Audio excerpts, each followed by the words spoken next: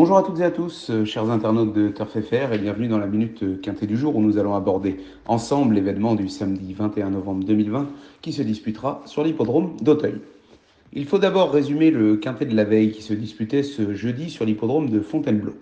Bailey's Blues, qui portait le numéro 12, gagne avec beaucoup d'autorité sous la selle de Stéphane Pasquier, encore lui. Si la minute quintée donne le tiercé en 5, Turf Sélection fait encore mieux avec tiercé ordre, quarté et quinté dans le désordre, ce dernier faisant 146 euros et 60 centimes. Chez nos amis du concours de pronos gratuit, le podium du jour est composé par Loustic, Papa 72 et Lef 4. Tous trois marquent plus de 300 points grâce à un quinté plus dans le désordre, accompagné des bonnes bases, gagnantes et placées. Bravo à tous les participants. Allez, direction maintenant l'hippodrome d'Auteuil en ce samedi 21 novembre 2020. Le site parisien verra des compétiteurs âgés de 5 ans et plus se produire sur le parcours de haie long de 3900 mètres. Sur une piste certainement très souple tirant vers le collant, ils seront 16 à espérer remporter ce gros handicap.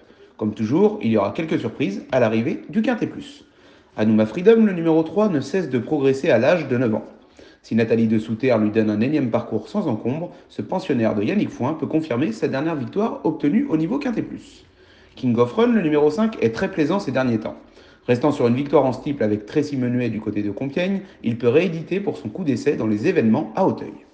Evans Knight, le numéro 13, va mieux courir que lors de ses dernières tentatives et sur sa meilleure valeur, cette pensionnaire de Michael Serror peut même remporter cette compétition.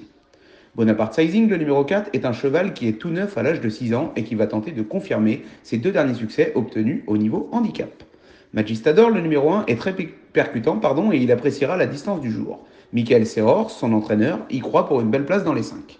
Bugsbag Book, le numéro 8, est proche de remporter une telle compétition et pourrait bien le faire aujourd'hui sous la selle de Jérémy Da Silva.